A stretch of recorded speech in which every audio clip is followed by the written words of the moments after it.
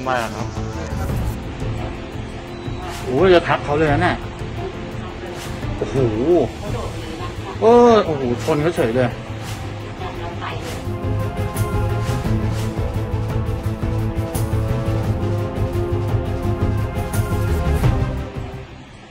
โอ้ยจะทับเขาเลยนะเนี่ย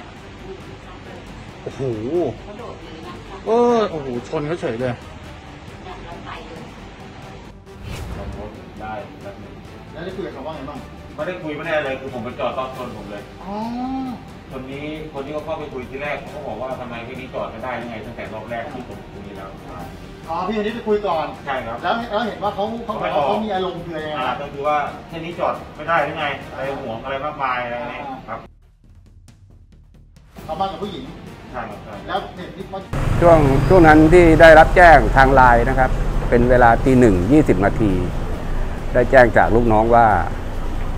มีการนำรถเข้ามาในพื้นที่ด้านหลัง เข้าไปจอดด้านหลัง สักระยะหนึ่ง ซึ่งทางรปภเห็นแล้วว่า ไม่ใช่การหลงเข้ามาหรือการเข้ามากลับรถ แต่เป็นการจอดนิ่งอยู่ในลานจอด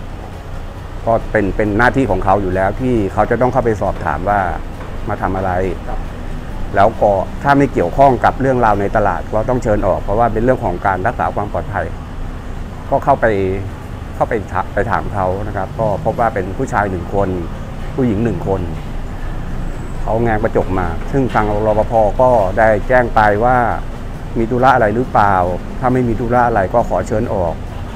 ก็อันนี้ทางรอพอพูดนะครับ ว่าได้รับคำตอบว่า อะไรจอดแค่นี้ไม่ได้เหรออะไรประมาณโวยวาย ซึ่งรอพอรองรอพอก็ไม่ได้โต้เถียงอะไร ก็ถอยออกมารถคันนั้นก็อยู่ตรงนั้นอีกประมาณ 10 นาที แล้วก็ออกจากจุดนั้น แล้วก็วนออกมาอีกจุดหนึ่ง ซึ่งก็ยังอยู่ในพื้นที่ตลาด ซึ่งทางรปภเขาก็มองอยู่ตลอด ก็ยังไปจอดอยู่อีกจุดหนึ่งฉะนั้นเขาจึงได้วิทยุแจ้งไปที่หัวหน้าชุด ชื่ออ